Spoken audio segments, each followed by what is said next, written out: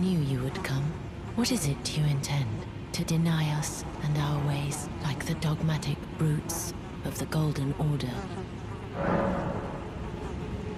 You are an... I am the guardian of those who live. They call me, yet you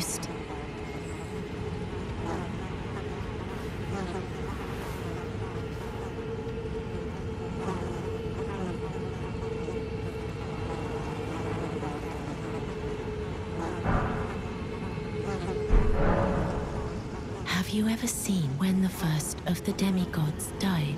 His flesh was marked with the half-wheel wound of the centipede. Godwyn's Hallowbrand has since been recovered at the Round Table Hold. But there is another Hallowbrand out there somewhere, and I must find it before the time comes we receive our Lord. When Godwyn died, a Hallowbrand scored his flesh, but another exists. Another mark in the shape of the half-wheel wound of the centipede, and I must find it before the time comes we receive our Lord. My hands will be dirtied once more by the deed. Will you still let me hold you, even then? This is the other Hallowbrand. How did you... Oh, my utmost thanks. With this, Godwyn can take his rightful place as first of the dead and claim a second, illustrious life. You are my, our true champion. And though I can't be of any use to you, can I hold you tight? If only for a moment.